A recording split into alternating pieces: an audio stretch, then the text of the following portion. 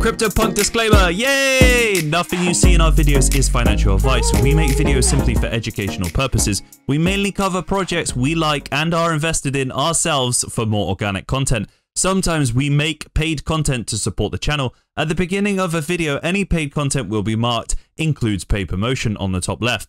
Remember, do your own research. You should never invest in any project, token, or shares just because an influencer covers it. Remember, most influencers are dumb. What's going on, football fans? Today we are taking a look at Club. The new light paper, the Meta founding pass sale is closed. It's over. If you haven't heard of Club or you haven't seen our previous video, make sure you go do that now. Hit the like button for us. So let's jump straight in. So Club is a free-to-play, play-to-earn game which is based on in real life football stats and results. Okay, so it's going to be a fantasy football game based on the top five leagues, but it's like no other play to earn, free to play football game you have ever seen before. So their light paper is out now and it is thick. There is lots of juicy information in this light paper, and I'm just going to skim straight through it and pick out some of my favorite bits. So we previously mentioned in the last video how the UI is going to work. It's going to have real life formations, real life players. There's going to be different rarity badges and also in-game items, stadiums, and loads of stuff like that. So we're going to have real players. We're going to have intuitive scoring, real formations. So all of the scoring is going to make sense. So if your player is in his position and does really well, he's going to get good points. He doesn't necessarily have to score a hat trick or score the match winning goal to get a good amount of points. It's going to have the five major European leagues, as mentioned, the player driven market, which makes complete sense in a game like this. So every club will start with the same budget and it's completely up to you whoever you buy and sell. There's loads of mini games, you're going to have youth development. So this is where it gets juicy. So free to play. Our philosophy is that reality based sport games should be free to play and that skills, not money, should be the biggest factor in deciding who wins. We want this to be something easily accessible to millions of players. Obviously, all games need to make some money to keep the lights on, but we have made a deliberate choice to do that without impacting the competitive side of the game. A model many successful games follow, e.g., Fortnite. Play to earn we believe that gaming is changing. In most games, the profits are taken from the players and given to the developers, but players of the game are providing value through their time, energy, and skill, so why shouldn't they share the rewards too?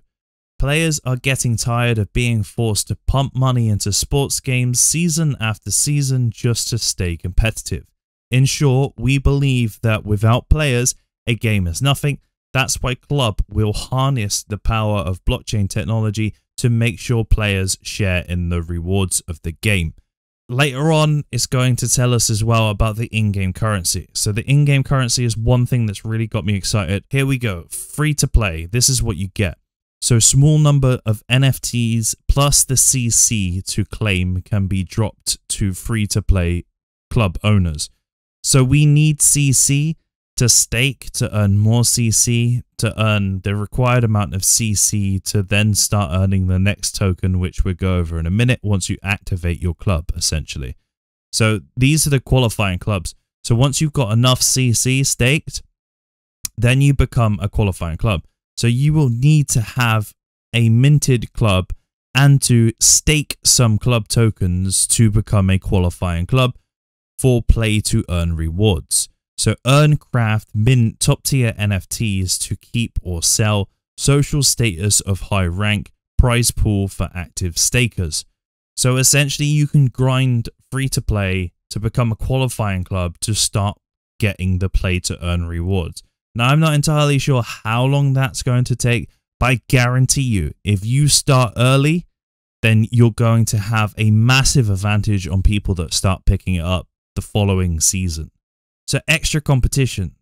Club Champions League. At the end of a season, the top champions from the elite divisions may win an NFT ticket that permits them entry to the Club Champions League the following season. The club may reserve some wildcard entries for the more for the most famous successful fantasy football players to allow the top champions to compete and play alongside the best of the best. The Club Champions League will surely award some of the coolest prizes in the game, whilst creating a small and very watchable league that can be followed by fans of the game on social media. The ticket may be traded on the marketplace if the holder wishes, but can only be used by a club that has reached elite status. Very cool. Competitions and mini games. Club will feature special events and competitions with prizes funded from the community reward pool. That could range from mini game Lambo race between club owners, record the fastest time in a week long competition and win cool prizes, or it may be a special World Cup version of Club where we play with international players to add some spice to the biggest tournaments. World Cup this year. Let's fucking go. So the current traction, right? So they got the in-game development and if you watched the video before, you know it's being built by a play to earn game developer that has already made a massive game in the space. Backend systems built, NFT marketplace. So the NFT marketplace is going to be fundamental for how the play to earn game mechanics work because you're going to earn the in-game currency you have to play to earn that currency to be able to mint NFTs, and then you can sell them on the NFT market to new players to fund the play to earn aspects of the game. It even mentions that they're toying with the idea of allowing Ethereum transactions for easier adoptions and also potentially using the in game currency to pay the Ethereum gas fees, which is amazing. So 150k social following at present, 17k pre-registers, 2.5k Discord users, and growing. World's number one fantasy football publication, 2.5 million audience from organic founding club owners and notable content creators. So there's some of their big followers there. This stuff is all growing as well. It's really early. May is next month. That's when the beta launches. So I know that the beta is going to be a very minimalistic version of the game and we're not going to be able to earn any of the tokens or the play to earn aspects of it but it's going to be real fun and it's going to be our chance as a community to start feeding back information as well and let these guys know exactly how we feel and how we feel things could be improved or let them know how well it's going as well. The team we've had meetings with the team. They're really great guys. We see them in discord a lot as well. Really friendly. Really know their stuff about the football space really starting to know their stuff around the NFT space and the play to earn space as well. I'm fairly confident in the team to pull this game off. So here we go, qualifying clubs. Once a user has minted their club and staked some CC token, they become eligible for the coolest item rewards in game. Instead of just putting all the cool items in a shop and selling them to players like traditional games, Club allows its players to earn those items and sell them themselves. By playing the game, they will start to earn club's secondary currency, an off-chain reward called club points or CP. The higher the player's performance and the higher their rewards will be. These CPs will allow the user to mint and sell in-game items like kits, badges, and even stadiums. I have to say as well, the kits in this game that I've seen so far are fire. And I noticed as well, it says that there will be a 2% market fee on that item that goes back to the artist of the kits as well. So I'm not sure if they're doing any sort of community rewards based around community people that design kits. But I imagine further down the line they will be if they're not already doing that. Because that will be massive as well to really sort of like praise the creatives in the community. Because the NFT space is full of so many creative people. How to mint a club. Meta clubs come minted already, but most players will start with a free to play club not on the blockchain. Through gameplay, they can level up their club, and earn the right to mint, at which point it becomes tradable. This is an achievable objective for the majority of players, but does take some time.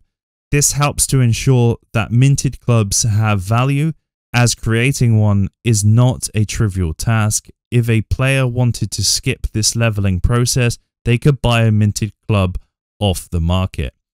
Goes back to the first episode when we were talking about fantasy football games where you play all season and all you've really got is sort of the competitiveness between your mates. Maybe you've all put a tenner in or something like that and there's a small pot.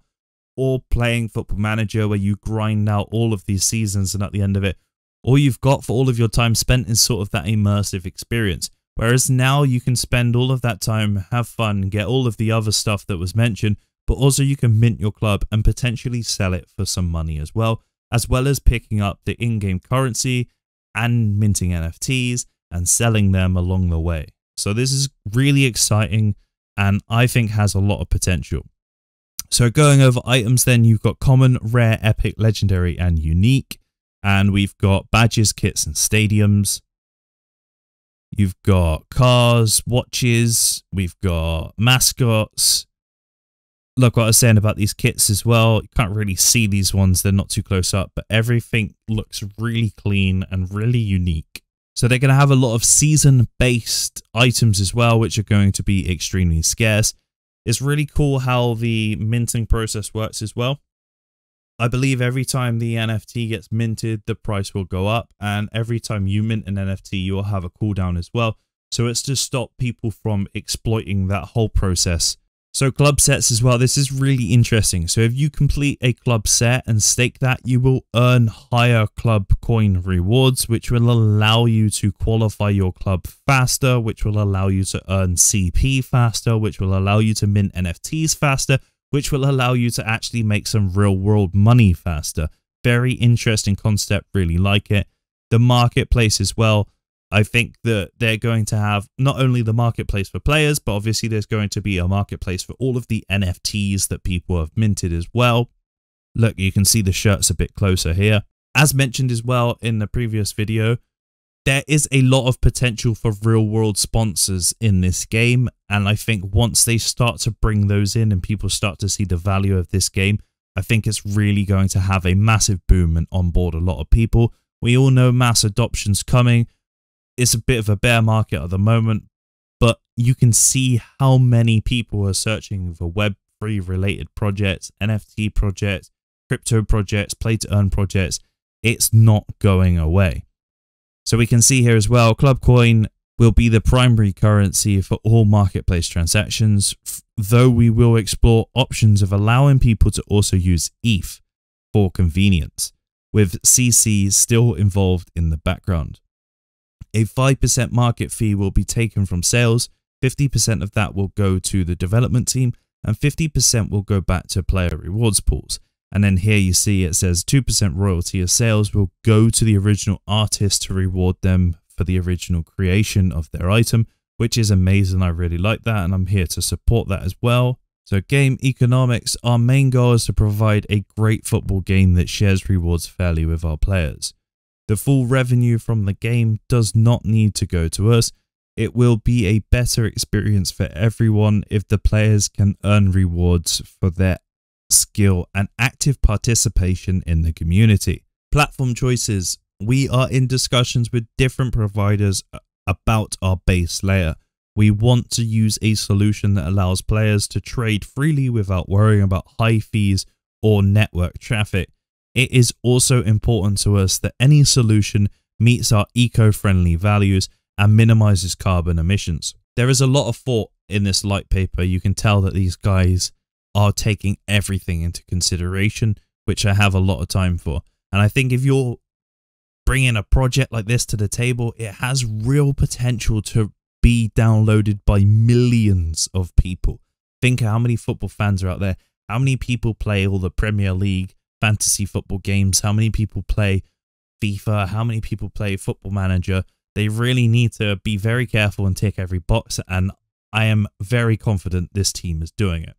So a bit more about Clubcoin here as well. CC is needed to mint all NFTs, including your club and any in-game items. the cost of minting a particular NFT will increase with each one minted, giving users an exciting early season gameplay chase to be the first to mint the coolest items. Whilst dynamically regulating the supply of NFTs, each user has a cooldown timer on minting a particular NFT to ensure a small number of users cannot monopolize supply of certain NFTs. Active staking of CC is required to become a qualified club and the off-chain currency required to mint NFTs. The more you stake, the faster you can earn, but this is capped. Players cannot keep paying. CC is needed to buy assets in primary sales as well as a fee in secondary sales on Club Marketplace, possibly via frictionless transactions allowing use of ETH. Interesting. CC may be required to form and run cooperative player groups called crews in order to enter special tournaments. Imagine that. Co-op, baby. That would be lit. Imagine doubles if they did doubles. Awesome. I, I, I honestly can't wait. So earning and minting NFTs. Well aware this episode's gone on for longer than I've intended to, so I'm just going to plow through this now. Once a player has a qualifying club, they can start earning an in-game currency called CP. CP are very important as they are required to mint any earnable NFT in-game. CP are off-chain, untradeable currency that can only be earned through gameplay. CP ensure that only those who really play the game have the right to mint NFTs directly, giving real players the opportunity to get the best items first based on merit rather than allowing whales to just buy them off the market. It is also more efficient to have many of these routine daily transactions take place off chain through CP. Mining an in-game item requires both CC and CP. The flow of earning and minting, selling an item works like this. So that's amazing. An off-chain token that you can only earn by staking CP, having a qualifying club and playing the game. That completely removes or looks like it completely removes any whales aping into the game and also any exploitation. Once you start earning CP, you can mint NFTs and then it's completely up to you if you use them, if you stake them to earn more CC, or if you sell them on the secondary market, which is completely revolutionary. It's little things like this that really fills me with confidence about Club and I can see it going the full distance. There is more to go over. I'm just going to quickly flick over the roadmap, guys. So Q1, which is where we're at now, and I'm pretty sure they've ticked all of that off. The beta is going to go live next month. They are still on track for that. And then later on in July, they're going to have the public beta. The marketplace is going to go live, onboard wider football community, free mints for founding owner clubs, cosmetics, reveal club ambassadors. Come on, come on. Onboard and reward initial club content creators. What are you saying? Come on. Launch partnerships with Co Project. Private meta founding clubs dropped. World Cup game start development of Clubhouse in Metaverse. Public meta founding clubs dropped. Completion of founding club supply. Deepen partnerships and with co projects and utility for club owners. Public club token live. So they are going to do a club token at one point as well. So I imagine there's going to be an IDO, and I'm sure that club owners will be able to get in the private sale before that goes public. So guys, that was definitely longer than I was expecting to make a video. I am very excited about this project. Hood is very excited about it. Everyone in the sort of space that loves football is very excited about this project. And I think once that beta goes live next month, I think the mass adoption is going to start. I know that they said sort of onboarding wider football community around Q3, but I think it's going to start sooner than that. As always, guys, hope you've enjoyed the video. Let us know down below in the comments what you think. As always, like and subscribe. We'll see you for the next one. Invest smart.